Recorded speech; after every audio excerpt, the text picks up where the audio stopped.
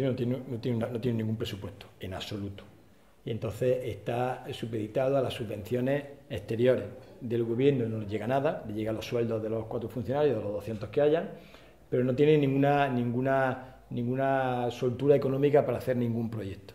Cuando llegan los presupuestos, que son mínimos, entonces, claro, hay que solventar un montón de asuntos prioritarios para ese ministerio, que no, no salen fuera de las puertas del ministerio. Entonces, es muy problemático. Con ese ministerio trabajamos con ellos, porque evidentemente no puedes trabajar si no trabajas con el gobierno, sería ridículo